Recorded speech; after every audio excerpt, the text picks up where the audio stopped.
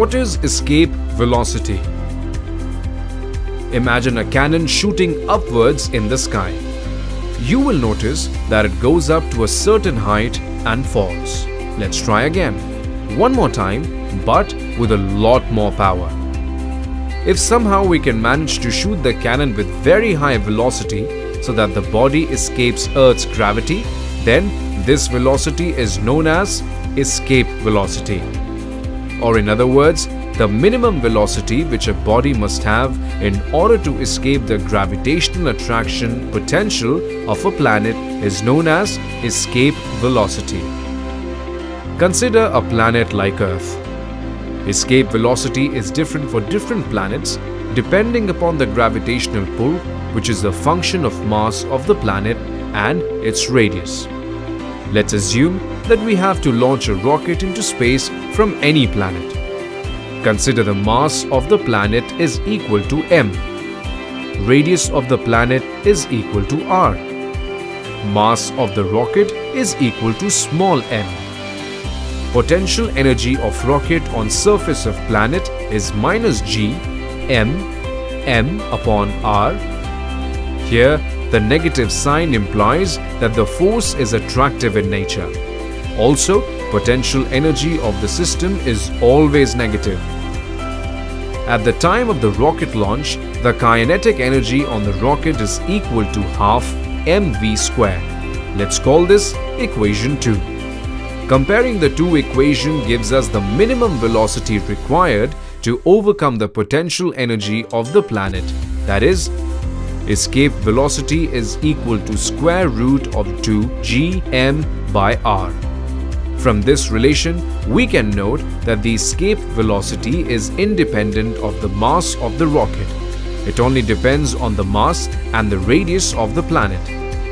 Therefore, a rocket having minimum velocity equal to or greater than escape velocity, then it will follow a curved path and will escape the gravitational pull of Earth.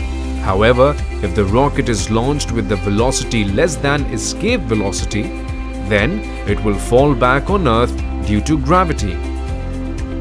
Let's solve an example to understand this concept better. Question.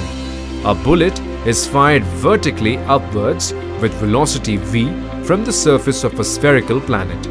When it reaches its maximum height, its acceleration due to the planet's gravity is one-fourth of its value of the surface of the planet.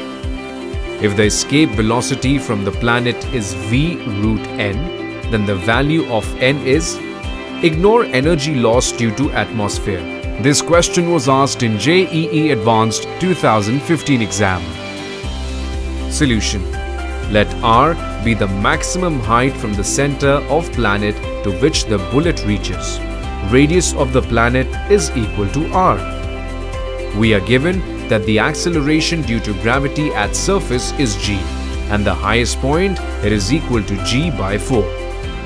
Since acceleration due to gravity is inversely proportional to square of the distance for small r greater than equal to capital R.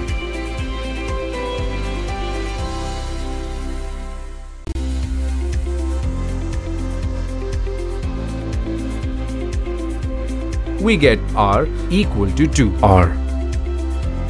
We also know that the escape velocity is equal to square root 2g m by r and is equal to v root n as given in the question. Let's call this equation 1. According to conservation of energy, the loss in kinetic energy should be equal to gain in potential energy. Half mv square equal to minus gm m by 2r minus into minus gm m by r. Solving this, we get v equal to root gm by r. Let's call this equation 2. Now comparing equation 1 and 2, we get value of n equal to 2. Please like, share and comment on the video and don't forget to subscribe to our YouTube channel. For more interesting and educational videos to earn while you learn, download Extra Class app from Google Play Store and get rewarded for studying.